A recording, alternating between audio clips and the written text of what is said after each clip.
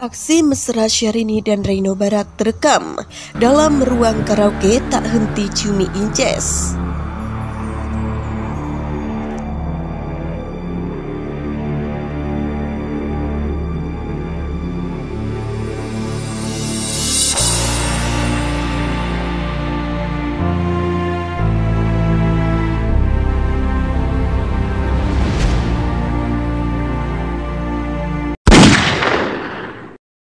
Dapur berita artis terkini. Hai guys, semoga kabar Anda baik-baik saja. Selamat datang kembali di channel Duster Infotainment. Terima kasih karena sudah memberikan support dan juga kesetiaan Anda untuk membangun channel ini. Kemesraan Syahrini dan Reino Barak kembali menjadi sorotan imbas aksi keduanya di dalam ruang karaoke. Ya, kedua kakak Aisyah Rani tersebut lagi-lagi menunjukkan keromantisan mereka setelah beberapa waktu lalu memperingati hari jadi pernikahan yang ketiga. Rupanya sampai saat ini Inces dan Reino Barak masih saja diliputi kebahagiaan. Di tengah-tengah posisi mereka sedang berada di Singapura. Memang setelah menjadi pasangan suami istri, Reino Barak dan Syahrini seolah tak bisa dipisahkan. Bahkan Inces rela untuk meninggalkan karirnya sebagai seorang penyanyi ternama demi bisa mendampingi ke mana pun sang suami pergi. Padahal selama ini menjadi seorang penyanyi, Inces dikenal sebagai salah satu selebritis dengan bayaran fantastis. Namun pengorbanan Syahrini tersebut tampaknya langsung terbayar dengan perlakuan manis Reino Barak yang kerap ditunjukkan pada dirinya. Seperti yang terlihat lewat unggahan story di akun Instagram @princess_syahrini. Jelang akhir pekan tampak Inces dan Reino Barak menghabiskan waktu dengan makan malam dan karaoke bersama. Di tengah momen karaoke, Inces pun menunjukkan kemesraannya dengan Reino Barak yang tak henti, saling berpelukan sembari bernyanyi. Terlihat pula Reino Barak yang selalu menciumi dahi Syahrini sembari merangkulnya, hingga kian menambah keromantisan keduanya.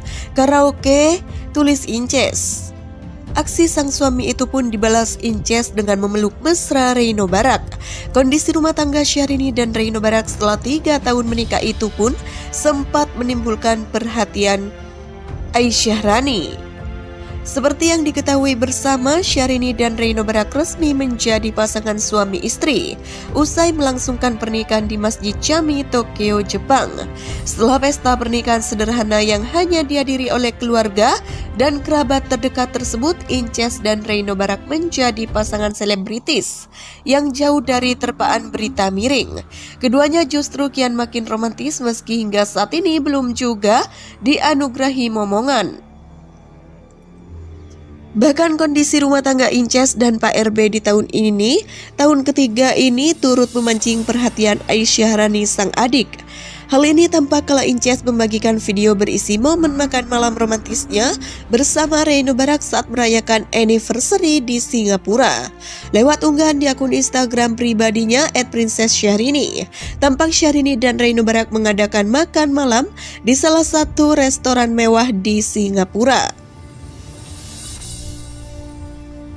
Berlatarkan pemandangan Singapura dari atas ketinggian, tampak Reino Barak juga sudah menyiapkan dekorasi cantik dengan jajaran bunga dan lilin yang menambah suasana romantis. An intimate surprise dinner, tulis Inces. Tak ketinggalan Reino Barak juga sudah menyiapkan buket bunga berukuran besar yang diberikannya pada sang istri, memperingati hari bahagia mereka menjadi sepasang suami istri.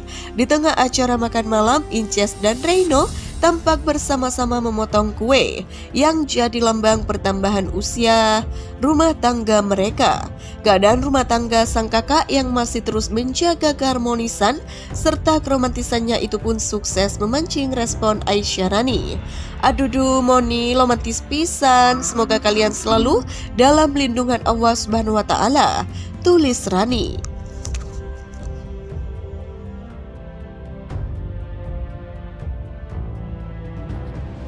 Jalani pernikahan dengan Syahrini, Reino Barak akui merasa kasihan pada Inces lantaran hal ini. Dunia keartisan tampaknya menjadi hal baru bagi Reino Barak, suami Syahrini.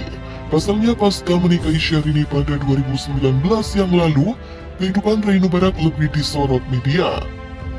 Beristrikan seseorang yang namanya besar di dunia hiburan tanah air, membuat Reino Barak merasa kasihan pada Syahrini.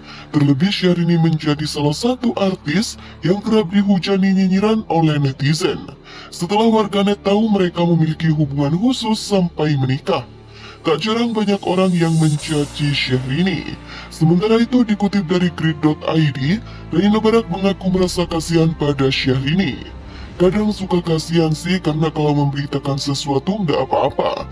Cuma tolonglah jangan pakai nama agama. Ujarnya dilansir dari wawancaranya dengan silet.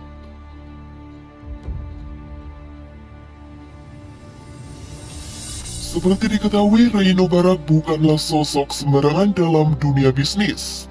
Tak main-main pria berdarah Jepang ini memiliki 9 perusahaan dan didominasi dengan bidang restoran.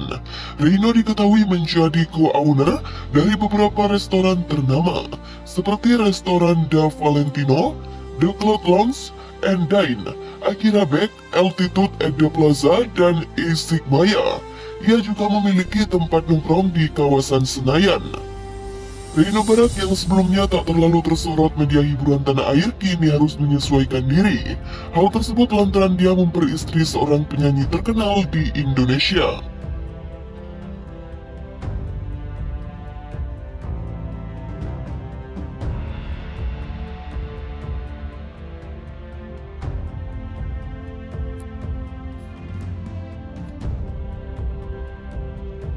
Meski kini kehidupannya tersorot media, namun Reino Barak seolah tak terlalu ambil pusing. Saya sama sekali nggak peduli katanya. Orang kan frekuensinya beda-beda ya, maksudnya kita tidak perlu menyamakan frekuensi ke semua orang. Lanjut mantan kekasih Luna Maya itu. Menurutnya dia tak memiliki kewajiban untuk menyenangkan orang-orang yang melihatnya. Saya bukan presiden, saya tidak harus menyenangkan semua orang, ucapnya. Ini apalagi kehidupan pribadi orang mau ngomong A, B, C, D, E, ya terserah dialah, toh juga saya sih juga nggak pernah menghiraukan. Tutup Reino Barak. Seperti diketahui pernikahan Reino Barak dan Syahrini digelar secara tertutup di Masjid Jami di Jepang. Pernikahan pasangan Reino Barak dan Syahrini pun menjadi buah bibir publik lantaran digelar tak lama setelah sang pria putus dari Luna Maya.